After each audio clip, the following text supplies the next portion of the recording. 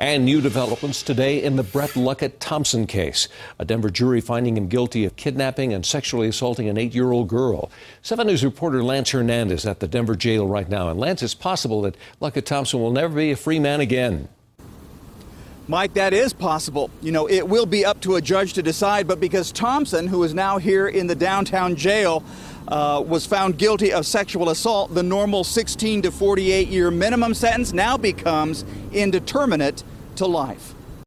Well, I'm glad they convicted him. Neighbors who live near the alley where the girl was abducted reacting to the jury's guilty verdict.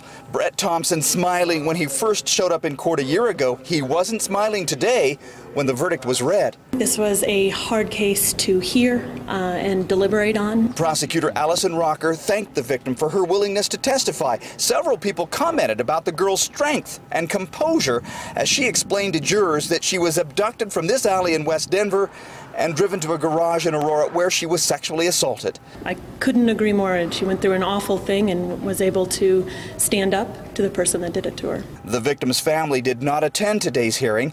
Neither did Thompson's foster mom or her brother. I spoke with the brother on the phone. Referring to Thompson, Robert Pagel said he basically threw his life away and will probably be in jail for the rest of his life. Pagel also said, Our main concern is for the young girl. We hope she can go on with her life and will be okay. Thompson faces possible life in prison. Sexual predators don't do well in prison, so. But I don't feel sorry for him. No, I don't.